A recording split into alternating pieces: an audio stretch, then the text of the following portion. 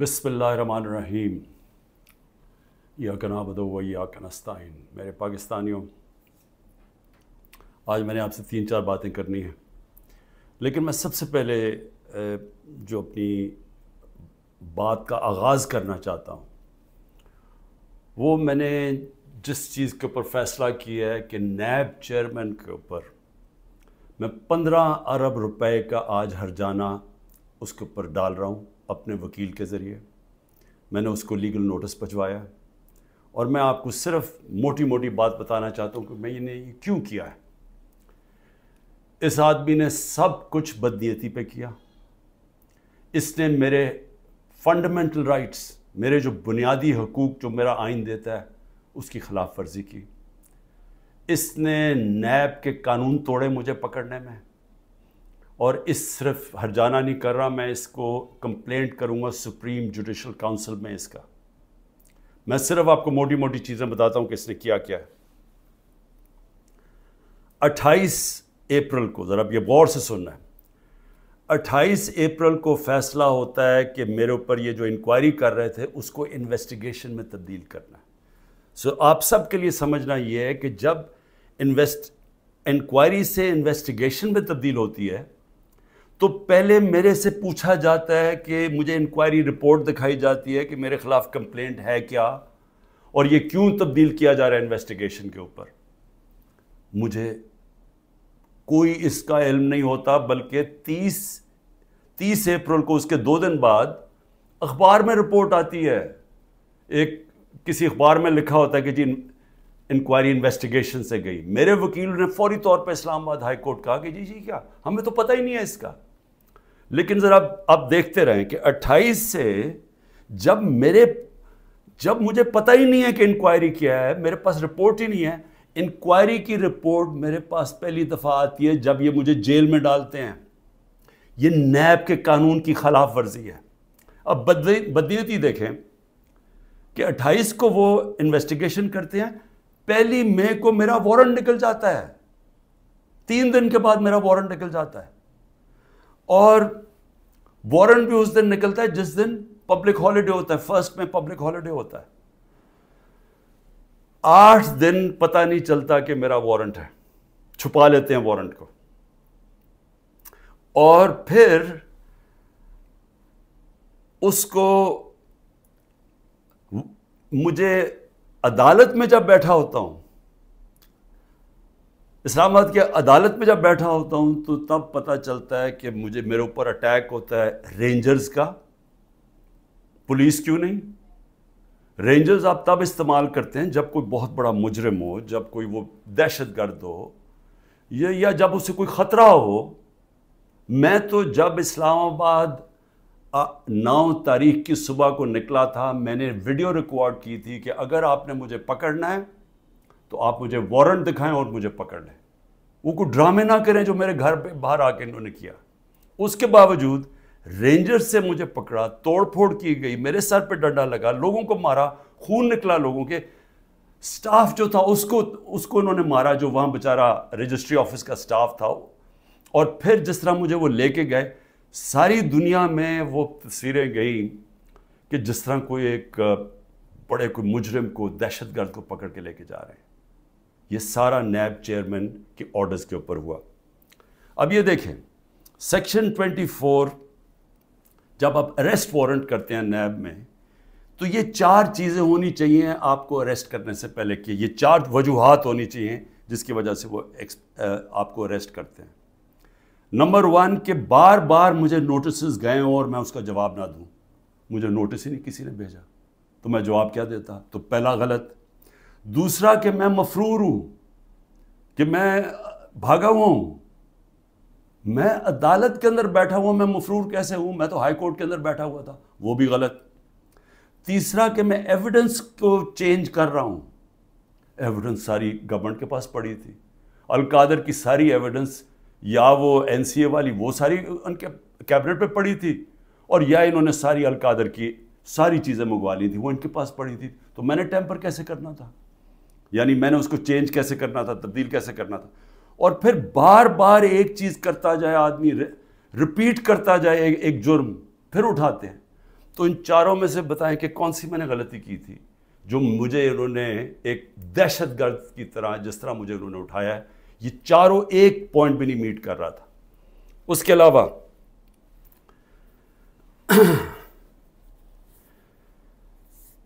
जिस तरह जिस तरह इन्होंने आ, मुझे उठाया मैं इसलिए हर जाना कर रहा हूँ कि इन्होंने सारी दुनिया में खबर गई कि इमरान खान को करप्शन केस पे उठा लिया।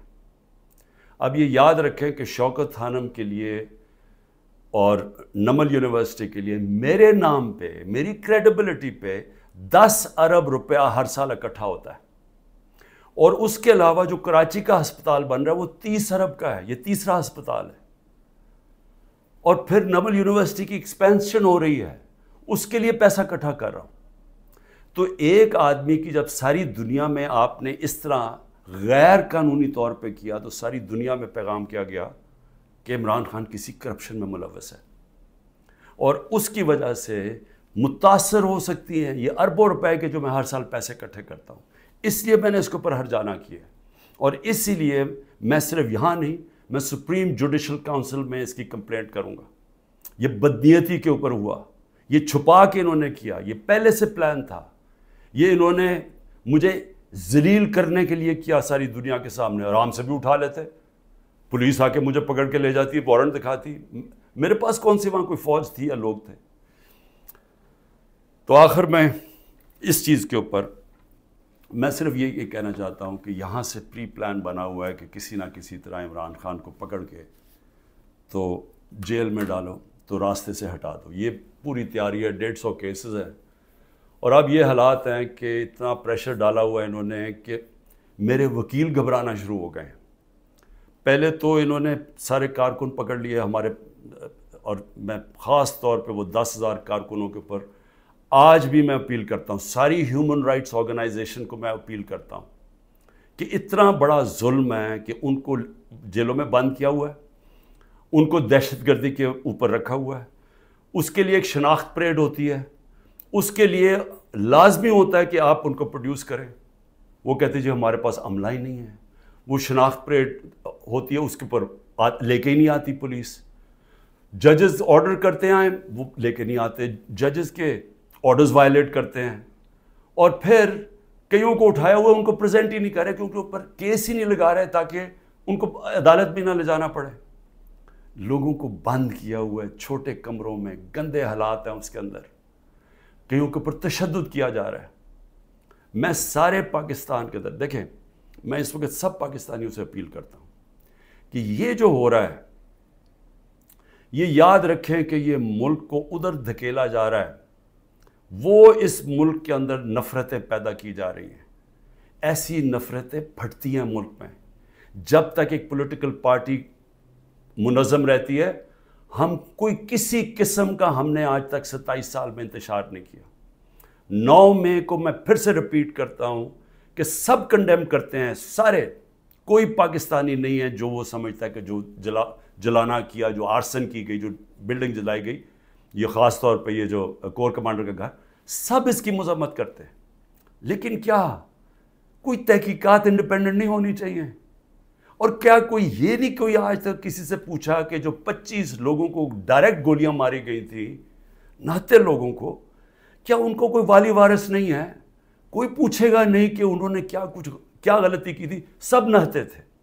सब जो मारे गए हैं, ये हालात हैं, आपके इतना खौफ पैदा कर दिया है।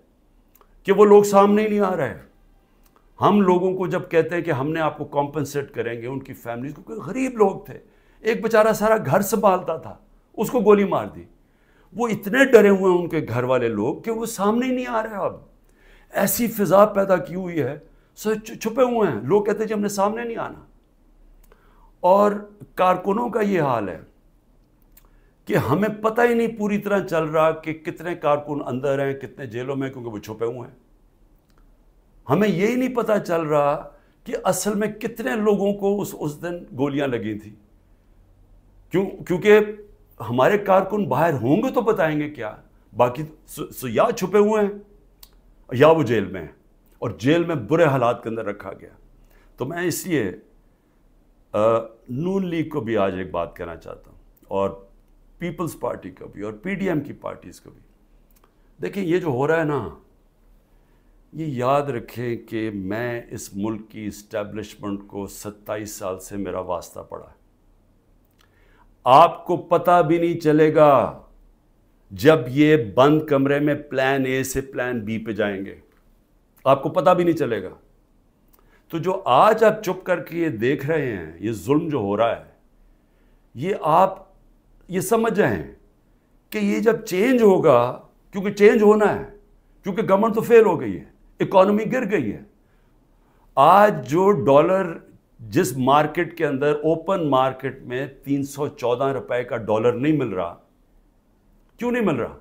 क्योंकि किसी को सबको इतमाद ही उठ गया इकोनॉमी से। तो अगर ये हालात हैं और पाकि, पहले हमारे पर से ये सब शोर मचा रहे थे 24 फ़ीसद, हमारी 12 फ़ीसद इन्फ्लेशन थी। महँगाई हमारे ज़माने में बारह इशारिया चार फ़ीसद थी। महँगाई मार्च हो गई थी। सारे टीवी शोज़ के ऊपर लोगों के पास जाते थे, जी बताएँ कितनी महँगाई है? आज के फिगर्स महँगाई के अड़तीस फ़ीसद महँगाई है। तीन गुना से ज़्यादा है। और आज जो हालात हैं लोगों के, ना महँगाई कंट्रोल हो रही है, फैक्ट्रियाँ बंद हो रही हैं, बेरोजगारी बढ़ रही है। आगे इंटरनेशनल मीडिया के लोग जो फाइनेंस के लोग हैं, वो समझ रहे हैं कि डिफ़ॉल्ट करने जा रहा है पाकिस्तान। इन हालात के अंदर, ये अगर आप समझते हैं पीडीएम वालों के, आप बड़ी देर बैठे रहेंगे यहाँ। मैं आपको यकीन दिलाता हूँ कि जब प्लान बी बनेगा, हो सकता है आप इधर फंस जाएँ। जो आज हमारे से हो रहा है हो सकता है आपसे भी ये हो। और ये मुझे ये कहना कि जी, हमारे ज़माने में ये हुआ था, इससे बड़ा झूठ कोई बोल नहीं सकता। मुझे ये बताएँ कि हमारे ज़माने में कब ये हुआ था? कितने लोगों को तशद किया गया जेल में? कितने घर तोड़ के अंदर घुस के औरतों के सामने उठा के ले गए? अगर वो आदमी नहीं मिला तो उन, उनके रिश्तेदार उठा के ले गए। कितने घरों में ऐसे हुआ था? मुझे ये आज तक बताएँ कि हमने कितने दहशतगर्दी के केसेस किए थे। मरियम नवाज़ ने जाके जब पथराव करवाया था नैब के ऊपर कितने दहशतगर्दी के केसेस हुए थे? किसके ऊपर इस तरह के डेढ़ सौ केसेस किए गए जो मेरे पे? चार केसेस मेरे ऊपर किए गए हैं क्रिमिनल केसेस जब मैं चार, नज़र बंद था चार दिन वहाँ नैब जेल में। तो जिस तरह की ये आप हरकतें कर रहे हैं, और ये होने दे रहे हैं हरकतें, और ये क्या कि जी हमारे ज़माने में ये ये होता था, ये समझ जाएँ कि ये बड़ी जल्दी चेंज हो सकता है। ये अभी आप बड़े खुश हैं कि जी तहरीक इंसाफ, इसलिए नहीं कि हमने आपसे कोई जुल्म किया था। मैं फिर से रिपीट करता हूँ, पचानवे फ़ीसद करप्शन के केसेस अब पहले आपके ज़माने में बने हुए थे। इसहाक डार आपके ज़माने में भागा, नवाज़ शरीफ के बेटे आपके ज़माने में भागे। ये जो केसेस बनाए हुए थे, ये सारे आपके ज़माने में हुए हैं। सिर्फ़ फिर से शबाज शरीफ के जो 16 अरब का एफआई का केस था और और जो नैब का केस था, वो हमारे ज़माने में बना आठ अरब का। और वो मैं आज भी कहता हूँ कि उससे क्लियर कट केस है ही कोई नहीं। ज़मीन के कब्ज़े जो छुड़वाए थे, वो सारा लैंड रिकॉर्ड्स के देख के छुड़वाए थे। एक मुझे इदारा ना पुलिस ऑफिसर कोई आईजी कोई मुझे आज एफआईए का आदमी, मुझे एक कह दे कि मैंने किसी के ऊपर कहा कि इंतकामी कार्रवाई करो। एक मुझे बता दे। कोई मुझे बताए जितनी हमने भर्तियाँ की हैं, वो सारी मेरिट के ऊपर की थी। कितने इमरान खान के रिश्तेदारों को इंपॉर्टेंट जगहों पे बैठे थे। और फिर मीडिया, ज़रा मैं मीडिया के ऊपर आ जाऊँ, क्योंकि मीडिया में हमें बड़ी मार पड़ी थी। सारा वक्त वो अच्छा वो गवर्नमेंट जिस गवर्नमेंट ने इस मुल्क के अंदर कोरोना, दुनिया मानती थी कि कोरोना का सबसे ज़्यादा डील उसके साथ, उसको संभाला। दुनिया मानती थी। हिंदुस्तान में हालात देख लेते इर्द गिर्द ईरान में हालात देखते, जो हमारे दो नेबर्स थे, और पाकिस्तान में हालात देखते। अपने मुल्क को जिस तरह हमने निकाला है और बड़ी रिस्क लेके। तो मैं आज ये सवाल पूछता हूँ कि हमारे तरफ़ अखबार उठा के देख लें, जो हमारी हमारी मिट्टी पलीत की गई है मीडिया में।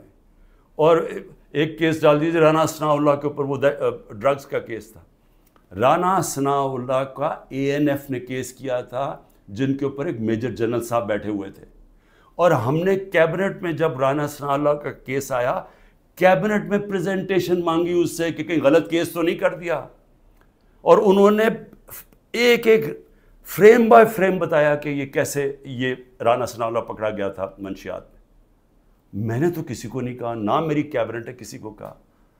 तो इसलिए ये कहना कि आपके ज़माने में भी कुछ था, हमारे ज़माने में कुछ नहीं था।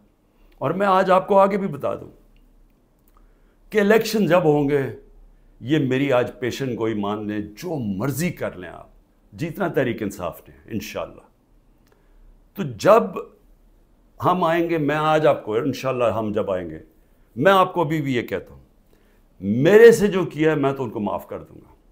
मुझे कत्ल करने की जिन्होंने कोशिश की, मैं माफ़ कर दूँगा, क्योंकि मैं, मेरे, मैं जो उमती हूँ, वो नबी सल्लल्लाहु अलैहि वसल्लम का हूँ। और उन्होंने अपनी ज़ात के ऊपर हमेशा माफ़ कर देते थे। तो मेरी ज़ात के ऊपर जो भी चीज़ें मैं माफ़ कर दूँगा। जो मेरे घर में हुआ, मेरी बीवी अकेली घर में, जिस तरह घर मेरा तोड़ा गया बाहर से जिस तरह उठा के ले गए, मारा लोगों को मेरे घर में आके, मेरे घर के ऊपर जो हमले किए गए, जब मैं, हम तो माफ़ कर दूँगा। लेकिन मुझे बताएँ कि जिन लोगों के ऊपर इस वक्त तशद हुआ है और हो रहा है, वो जब निकलेंगे, या जो आज़म स्वाति से हुआ, या जो शबाज गिल से हुआ क्या वो माफ़ करेंगे? क्या ये जो इमरान रियाज को उठाया, या जो अरशद शरीफ, ये जिस जिस तरह उसकी क्या फैमिली माफ़ करेगी? क्या ये जो वर्कर्स जब निकलेंगे, जिनको जानवरों की तरह रखा गया है, क्या उनको पता है कौन कौन से, और पुलिस वालों ने ज़्यादातर अच्छा बर्ताव, उनकी बुरी रिपोर्ट्स नहीं है, नामालूम अफराद ने ज़्यादा जुल्म किया। लेकिन कई गुल्लू बट जो इन्होंने शामिल किए, क्या उनको माफ़ कर देंगे जिन्होंने 25 मई को किया, हमने चुप करके बैठ गए? हमने किसी को सजा ही नहीं दी। जब 25 मई को इन्होंने जुल्म किया था। तो क्या अब अब हम माफ़ कर देंगे? ये जो वर्कर जब निकलेंगे, वो डिमांड नहीं करेंगे कि जिनसे जुल्म किया गया। तो इतने इंतहा पे जो आप लेके जा रहे हैं, ये याद रखें कि कहीं प्लान बी बन गया तो आप इसी जगह पे फंस जाएँगे। और मेरी मीडिया से अब, मैं फिर मीडिया से पूछता हूँ कि अब तो उन्होंने मुकम्मल तौर पे इमरान खान का नाम ही अब नहीं, नहीं ले सकते अब टीवी चैनल्स पे। ये अब नई चीज़ है। अगर इमरान खान का टीवी चैनल्स पे नाम नहीं ले सकते तो अब मैं सोच रहा हूँ कि टीवी चैनल्स पे गुफ्तु क्या होगी शाम को? मैं और भी सोच रहा हूँ कि इसका मतलब मरियम नवाज़ की तो अब तकरीरें दिखाई नहीं सकेंगे क्योंकि उसकी तकरीर ही ख़त्म हो जाएगी अगर उसमें इमरान खान का नाम ना हुआ। यानी इस तरह से क्या मुल्क में क्या लोग कितने बेवकूफ़ हैं कि अगर आप ये नहीं करेंगे तो इससे वो भूल जाएँगे लोग पीटीआई इमरान खान को। मैं आप, फिर से आपसे कहता हूँ कि ये जो लोगों से किया जा रहा है, हमारे लोगों से, जो मेरे से किया जा रहा है, मैं अपना इसलिए नहीं ज़्यादा बात करता कि ठीक है, मैं तो तैयार हूँ हर चीज़ के लिए। पहले तो राना सनाउल्ला कहता है कि इमरान खान की जान को शदीद ख़तरा है। टीवी पे जाके कहता है। फिर मेरा जो इंचार्ज था कर्नल आसम, यहाँ का सिक्योरिटी का, उसको वो गायब हो जाता है। जो गाड़ियाँ, जो प्रोटेक्शन देने वाली, जो बुलेट प्रूफ हैं, वो स्वाय एक के बाकी सारी, वो तीन जो गाड़ियाँ थी, वो गायब हो जाती हैं। उनको पकड़ के इम्पाउंड कर लेते हैं। फिर इर्द गिर्द सबके जो हमारे करीब था, उसके ऊपर वारंट निकाल दिए। तो यहाँ खाली पड़ा हूँ, मैं अकेला बैठा हूँ दो तीन हमारे पास लोग रह गए। और फिर आते हुए अब लोग डरते हैं। क्योंकि अगर कोई यहाँ आएगा तो उनको डर है कि बाहर कोई इन्फॉर्मेंट्स में पकड़े जाएँगे। तो वो भी आइसोलेटेड हूँ। वकील सिर्फ़ आ सकते हैं। लेकिन मेरा सवाल ये है कि क्या इससे मैं पीछे हट जाऊँगा? और फिर जो हरबे इस्तेमाल किए गए, मुझे बड़ा अफसोस हुआ कि रात मेरी भांजी का खामद, जिसका कोई तहरीक इंसाफ से ताल्लुक़ नहीं है उसका जो बाप और फैमिली वो सारी नून लीग में है, उसको कल रात उठा के ले गए।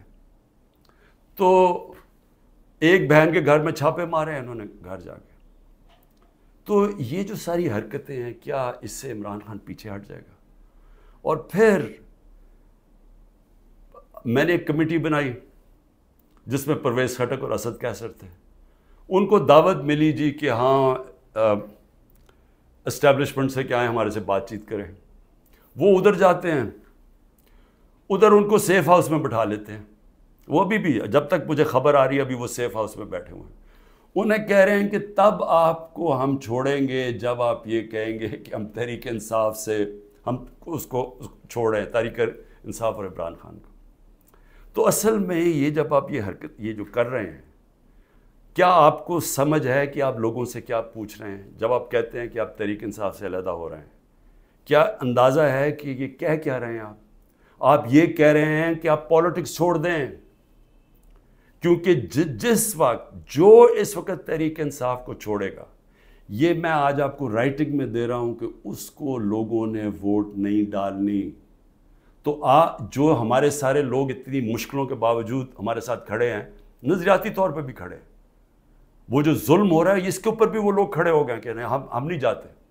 लेकिन उन सबको ये भी पता है कि जो छोड़ेगा, उसकी, उस वक्त पॉलिटिक्स ख़त्म हो जाएगी। तो ये जो इन दोनों को, हमारे सीनियर लोगों को, मैंने तो इसलिए कहा था कि बातचीत शुरू करेंगे। वो बातचीत करने गया उनको ही बैठा लिया। तो इसका मतलब कि बातचीत नहीं करना चाहते इसका मतलब ये कि यहाँ फैसला हुआ है बंद कमरों में कि पार्टी को ख़त्म करना है। इमरान खान को अकेला कर देना इमरान खान अकेला हो चुका है। इमरान खान के तो इर्द गिर्द अब कोई भी नहीं है। ना मैं किसी को टेलीफोन कर सकता हूँ, ना मैं किसी से बात कर सकता हूँ सब छुपे हुए हैं। या जो जो जो मेरी सीनियर लीडरशिप है, उनसे मुशावरत नहीं करते, वो सारे जेल में हैं। या उन्होंने कहा कि हम जी पीछे हट रहे हैं, हम पॉलिटिक्स से पीछे हटे तो क्या मैं सवाल ये पूछता हूँ कि चले, इमरान खान को तो आपने आइसोलेट कर दिया। क्या ये पाकिस्तान में इसकी बेहतरी हो रही है? ये हमारा मुल्क के लिए बेहतर है। हमारी जो इकॉनमी बैठती जा रही है, जो गुर्बत बढ़ती जा रही है, बेरोज़गारी बढ़ती जा रही है, महँगाई बढ़ती जा रही है, क्या ये इससे ठीक हो जाएगी?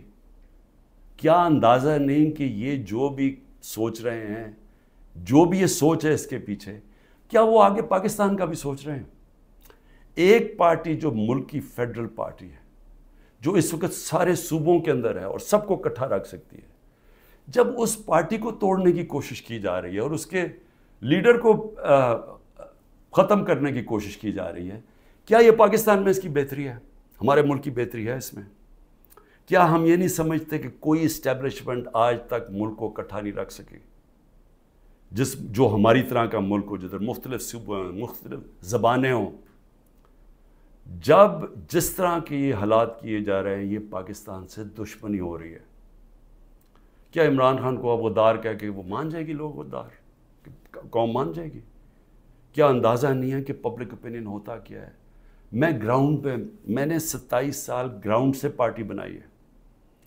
मैंने कभी किसी को डैडी कह के किसी की डिक्टेटर की कैबिनेट में नहीं, बैठा आठ साल, पहले और फिर पॉलिटिक्स में आया। या मैं किसी की छत के ऊपर सरिये लगाते लगाते मैं मैं चीफ मिनिस्टर नहीं बना।